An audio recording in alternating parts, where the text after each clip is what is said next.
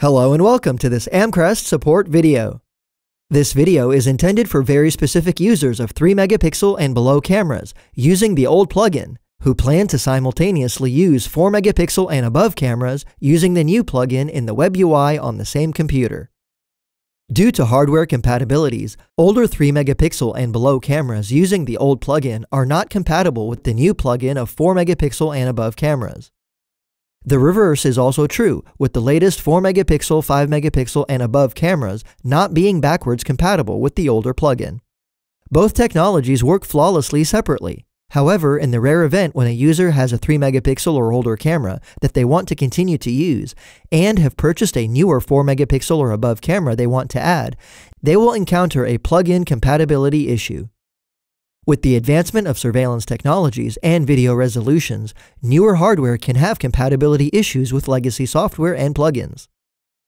Amcrest cameras are always moving forward, embracing the latest video security technology. As our products continue to grow and progress, cross-compatibility or backwards compatibility is not always achievable or realistic with the constant advent of newer technologies. For the time being, we have a quick and simple workaround to allow continued use of older cameras and plugins along with newer cameras.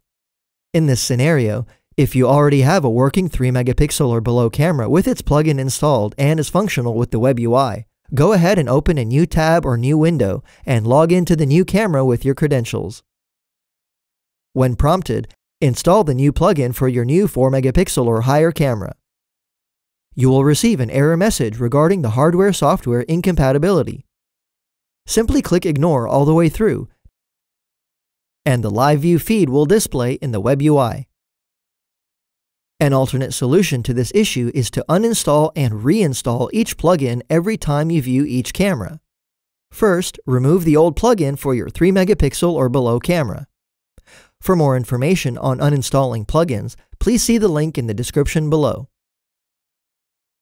Once removed, proceed to install the new plugin for your new 4 megapixel or above camera. And the live view feed will display in the web UI.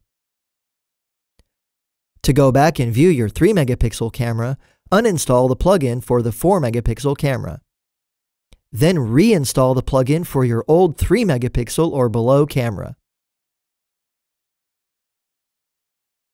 Finally, as another optional solution, we recommend our free software, Surveillance Pro, to view multiple cameras at once without the need to remove and reinstall plugins.